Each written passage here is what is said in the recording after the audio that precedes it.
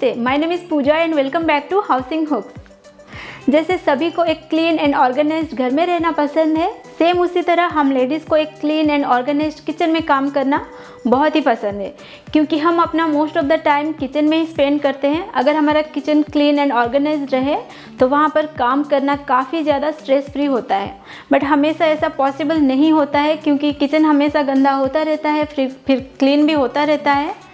तो बट हम किचन में अगर कुछ टिप्स जो है, जो हम एवरीडे फॉलो करेंगे किचन में तो हमारे किचन को बार बार फ्रिक्वेंटली डीप क्लीनिंग की ज़रूरत नहीं पड़ेगी। तो ऐसे ही कुछ टिप्स जो मैं अपने किचन में फॉलो करती आ रही हूँ और कर रही हूँ, जो मैं आज आपके साथ शेयर करने जा रही हूँ। But sharing all the tips in one video will make my video too long तो मैं सोच रही हूँ कि इस टॉपिक की वीडियो को मैं पार्ट वाइज बनाऊँगी। तो चलिए आज देखते हैं पार्ट वन वाला वीडियो इस टॉपिक की। आने वाले वीडियोस भी आप ज़रूर देखिएगा। वाटर बॉटल्स को अगर आप काउंटर टॉप के ऊपर इस तरह से डायरेक्टली रखते हैं तो अननेसेसरी बहुत ही टाइम वेस्ट होता है। क्योंकि हमें एक एक बॉटल्स को उठाना पड़ता है और काउंटर टॉप को क्लीन करना पड़ता है। इस तरह से रखने से ये इधर उधर हो जाते हैं और ज़रा सा हाथ लगने से ही एम्प्टी बॉटल्स गिर जाने लगते हैं। तो ये बहुत जल्दी मैस क्रिएट करते हैं। तो इसे आप एक जगह में अगर फिक्स करके रखना चाहते हैं तो आप इस तरह की बास्केट्स यूज़ कर सकते हैं। तो आप देख रहे हैं यहाँ पर मेरे पास दोनों टाइप के बास्केट है। तो ये जो वाइट वाला बास्केट है, इसका जो हाइट आप देख रहे हैं, ये कम है। और ये जो ब्राउन कलर की बास्केट है, इसका हाइट आप देखिए, ये ज़्यादा है। तो मैं सजेस्ट करूँगी आपको इस तरह की जो ज़्यादा हाइट वाला बास्केट है, आप उसी तरह, इसी तरह बास्केट यूज़ कीजिए। क्योंकि कम हाइट वाला बास्केट यूज़ करने से क्या होता है, जो बड़े वाले बॉटल्स होते हैं ना, वो बहुत जल्दी गिर जाने लगते हैं। आप अगर एक बॉटल को निकाल रहे हैं तो दूसरे बॉटल लगते ही एम्प्टी बॉटल्स बहुत जल्दी गिर जाने लगते हैं। तो इस तरह से बास्केट का हाइट अगर ज़्यादा होगा तो हमारा बॉटल्स जो है, इसको, ये बहुत अंदर तक जाएँगे। इसका आधा से ज़्यादा बास्केट के अंदर रहेगा। तो ये इतने जल्दी गिरते नहीं हैं और उसके साथ साथ आप देख रहे हैं कितने अच्छे से ऑर्गेनाइज भी दिख रहे हैं।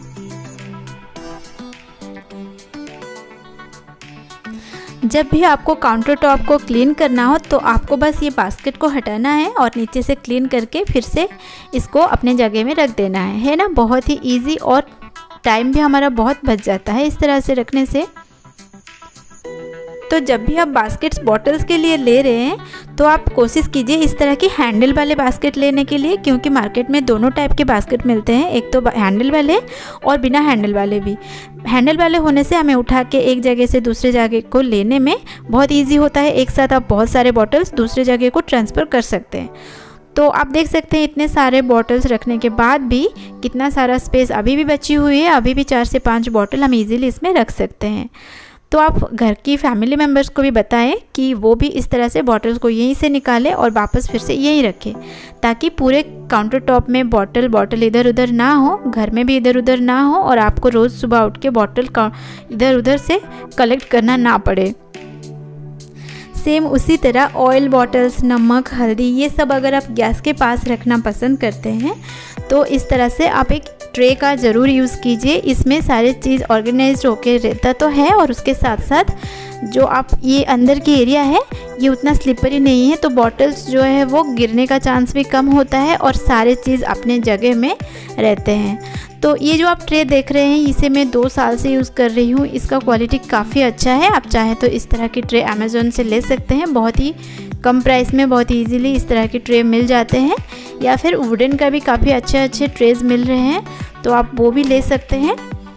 तो ये वाटर प्रूफ है इसके अंदर की जो एरिया है और ये बॉर्डर जो आप देख रहे हैं चारों तरफ़ ब्लैक कलर का, ये वुडन का है तो इसे क्लीन करना बहुत ही आसान है। मैं इसको हमेशा ये गंदा जब भी हो जाता है तो पानी से धो के साबुन से साफ़ करके मैं इसे क्लीन कर लेती हूँ। और ये बहुत ही छोटा सा है, पर ये देखिए, इसमें हमें बहुत सारे चीज़ें मैं आराम से एक जगह में रखती है तो आप देख सकते हैं ये कितना अच्छा भी दिख रहा है। तो आप चाहें तो ये घी रख सकते हैं, घी का जार अगर आप यूज़ करते हैं या फिर आप यहाँ पर नमक और हल्दी, ये सब चीज़ें भी एक साथ रख सकते हैं।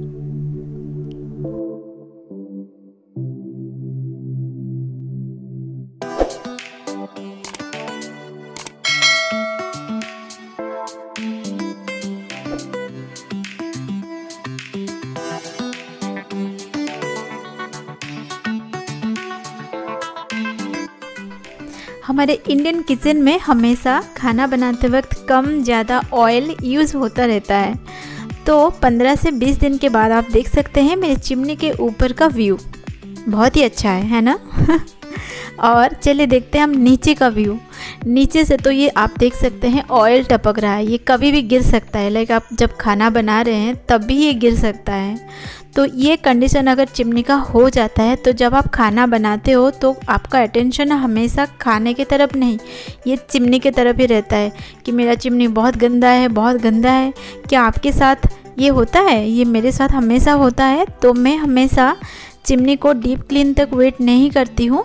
तो ये आप देख सकते हैं, पंद्रह से बीस दिन के बाद अगर आप क्लीन करेंगे ना तो ये जो आपका स्क्रबर है, आप देख सकते हैं इसका कंडीशन कितना ख़राब हो चुका है। इसको हम रीयूज़ नहीं कर सकते, इसको हमें फेंकना ही पड़ेगा। मुझे इसके ऊपर वीडियो शूट करनी थी, इसीलिए मेरा चिमनी जो है वो इतना डटी हो गया था क्योंकि मैं वेट कर रही थी। तो पर आप इतना दिन तक बिल्कुल भी वेट ना कीजिए। अगर आप चाहते हैं कि आपकी चिमनी हमेशा इस तरह से साफ़ रहे क्लीन रहे तो रोज़ खाना बनाने के बाद जैसे हम गैस पोछ के क्लीन करते हैं सेम उसी तरह एक बार चिमनी को भी चारों तरफ़ से वाइप कर लीजिए। और जब भी आप पंद्रह दिन में, एक बार या फिर बीस दिन में डीप क्लीन कर रहे हैं तो आप ऑयल ट्रेस वगैरह निकाल कर साफ़ कर सकते हैं। और इस तरह से करने से आपका चिमनी हमेशा साफ़ रहेगा। आप दिन में एक बार भी इस तरह से कर सकते हैं, जैसे कि रात को खाना बनाने के बाद भी एक बार कर लीजिए, ताकि आपका चिमनी हमेशा साफ़ रहे। और जब आप खाना बना रहे हो तो आपका अटेंशन खाना बनाने पर रहे, ना कि चिमनी के ऊपर।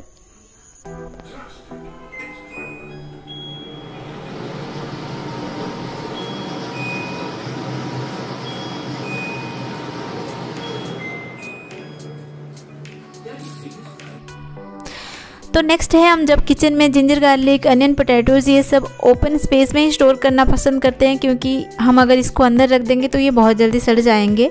तो अगर आप इस तरह से बास्केट में ये सब डाल के नीचे फ्लोर में ही रख देते हैं तो this is not a good idea ये मेथड से हमारा स्पेस अच्छे से यूटिलाइज नहीं होता है और फ्लोर को जब हम क्लीन करते हैं तो एक के बाद एक उठा के फिर हमें क्लीन करना पड़ता है।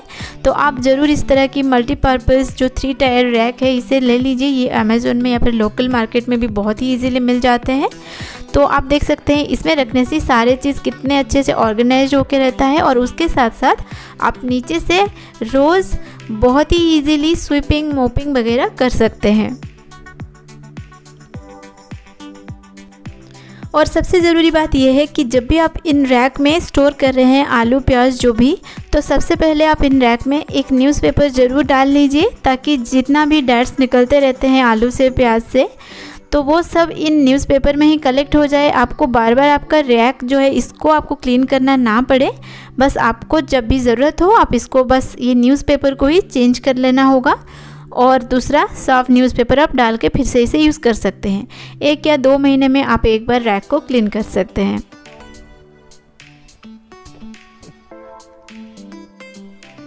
तो आप देख सकते हैं, ये आज मैंने ये न्यूज़पेपर्स चेंज किए हुए हैं और इनमें कितने सारे जो डर्ट्स है वो कलेक्ट हो गया है।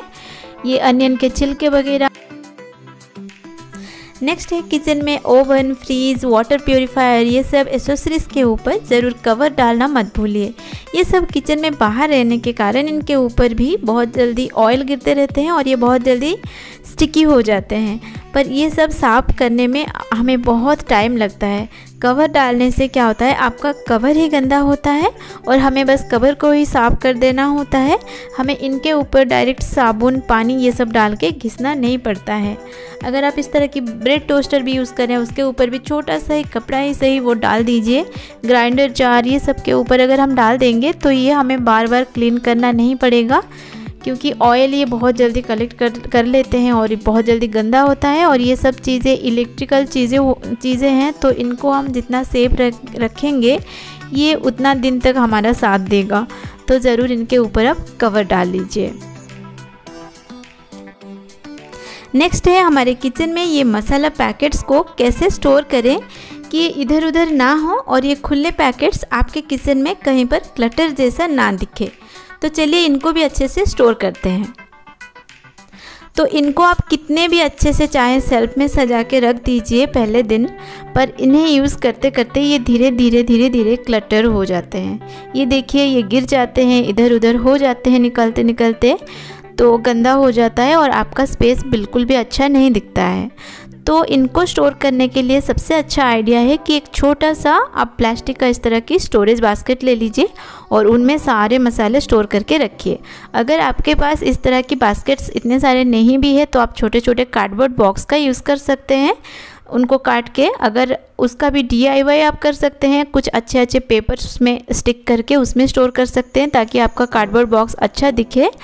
और ये आप इस तरह से देख सकते हैं, जो मसाला पैकेट्स आप यूज़ कर चुके हैं तो उसमें रबर बैंड लगा के एक साथ सारे चीज़ों को रख सकते हैं, ताकि कोई भी मसाला पैकेट इधर उधर ना हो और आपका स्पेस जो है वो बिल्कुल भी क्लटर ना दिखे, बहुत ही ऑर्गेनाइज्ड दिखे।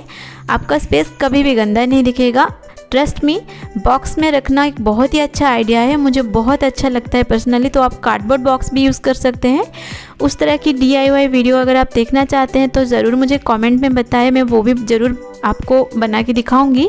तो आप देख सकते हैं, ये पहले कितना ज़्यादा ख़राब दिख रहा था और ये बास्केट में रखने के बाद कितना अच्छा दिख रहा है।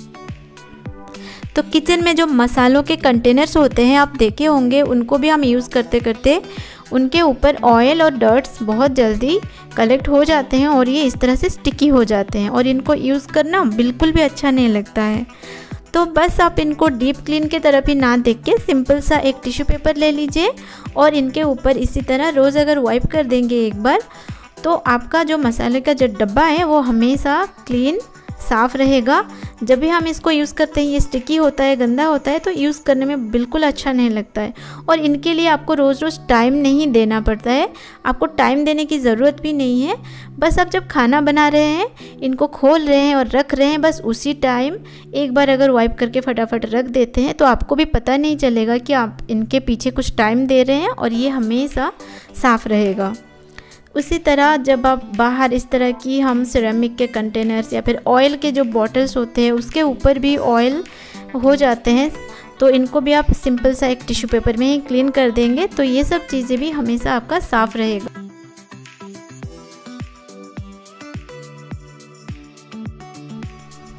आज का जो टिप्स है वो आप में से सबको ये सब टिप्स पता भी होगा पहले से और किसी को नहीं पता होगा, पर जो बिगनर्स होते हैं, उनके लिए ये टिप्स बहुत ज़रूरी होते हैं और कभी कभी हमें ये पता होता है, फिर भी हम कभी कभी किचन में ये सब फॉलो करना भूल जाते हैं और हमारा किचन जो है वो गंदा हो जाता है।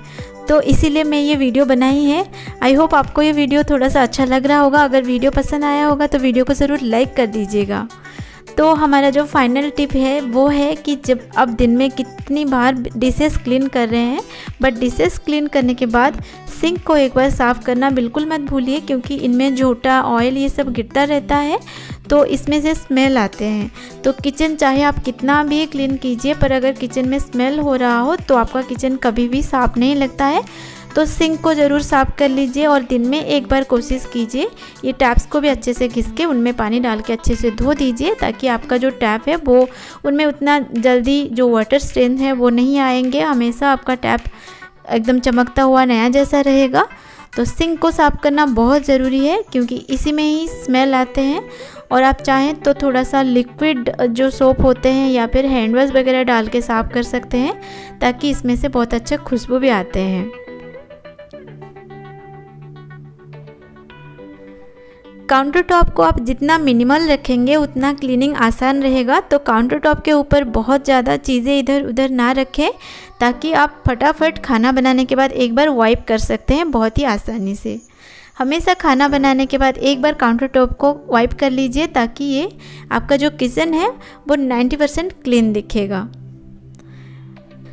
हर बार कोई हर्स केमिकल्स डाल के ही काउंटर टॉप को साफ़ करना होता है, ऐसा नहीं होता है।